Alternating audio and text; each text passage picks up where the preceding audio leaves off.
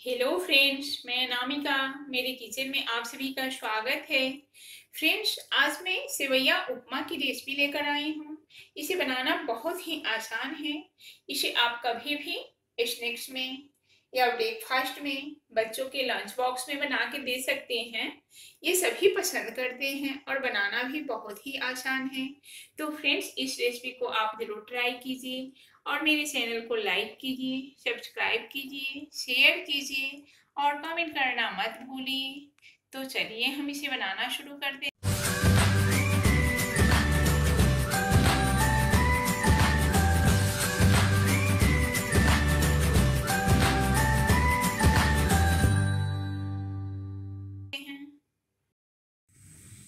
सेवैया उपमा बनाने के लिए हम सबसे पहले गैस की तरफ़ चलेंगे। गैस पे हमने आधा लीटर पानी उबाल लिया है। उसमें हम अब ये सेवैया को डाल देंगे। और इस उबले हुए पानी में हम इसे दो मिनट तक अच्छे से उबाल लेंगे। सेवैया को हमने उबाल लिया है। इसे चेक करने का तरीका बता देती हूँ। दोनों हथेलियों से ऐसे दबाने पे पता चल जाता है कि ये उबल चुका है।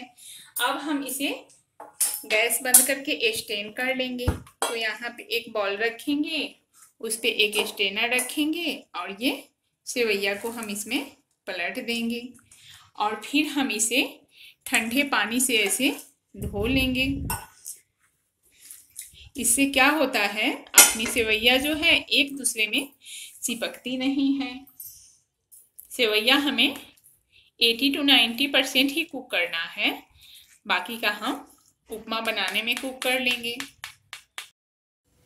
इसी पैन को हमने गैस पे ले लिया है। गैस को हमें ऑन करना है। अब हम इसमें एक बड़ा चम्मच तेल डालेंगे।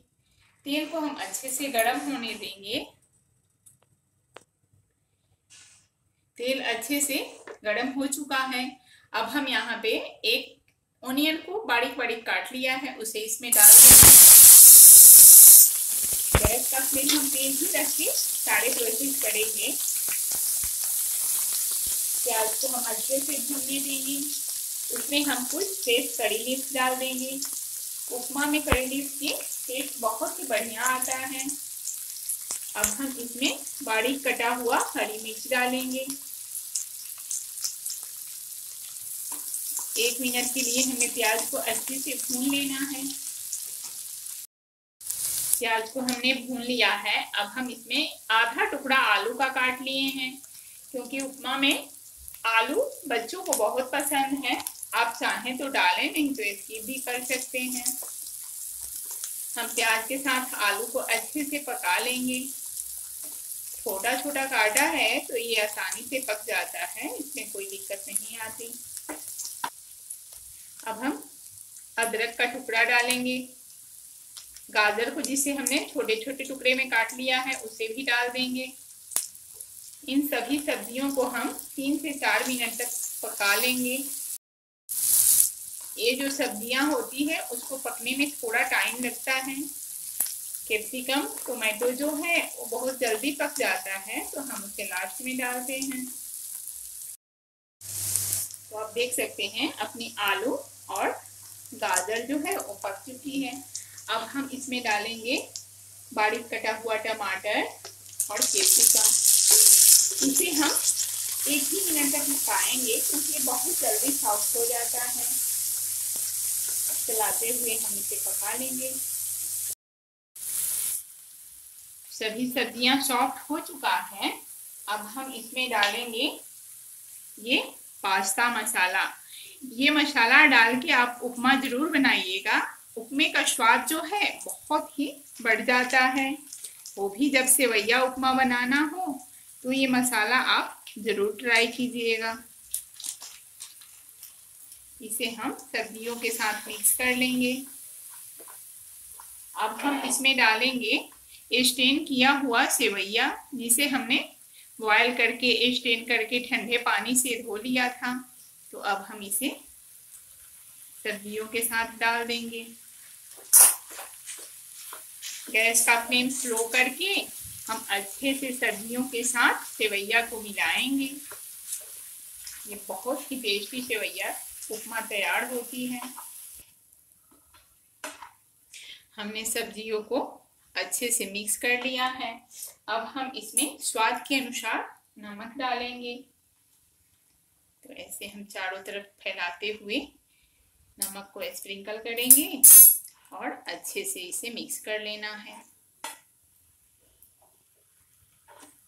आप देख सकते हैं कितना बढ़िया फ्रेश फ्रेश अलग अलग ये बिखरा हुआ सेवैया उपमा दिख रहा है।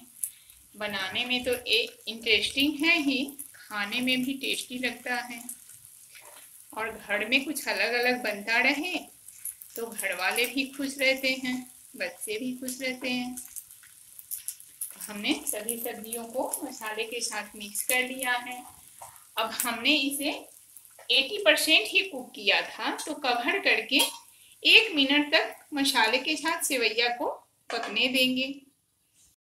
तो चलिए अब हम ढक्कन हटा लेते हैं।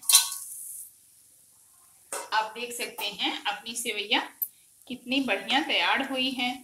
अब हम लास्ट में इस पे धनिया पत्ता स्प्रिंकल कर लेते हैं। धनिया पत्ता डालने के बाद हमें पकाना नहीं है, गैस को ऑफ़ कर लेंगे और इसे अच्छे से मिक्स कर लेंगे।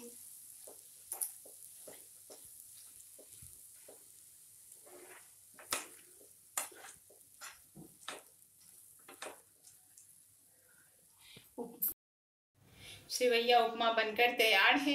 अब चलिए हम इसकी फटाफट प्लेटिंग कर लेते हैं। तो आप देख सकते हैं कैसे एक एक दाना खिला खिला सेवैया उपमा तैयार हुआ है। तो फ्रेंड्स हमने सेवैया उपमा बना के तैयार कर लिया। आपने देख लिया, बनाना कितना आसान है। और खाने में तो आप टेस्ट करेंगे तो ही बताएँगे। तो फ्रेंड्स इस रेसिपी को आप ज़रूर ट्राई कीजिए। और आज की मेरी ये रेसिपी कैसी लगी? मेरे कमेंट बॉक्स में कमेंट करके ज़रूर लिखिए। धन्यवाद।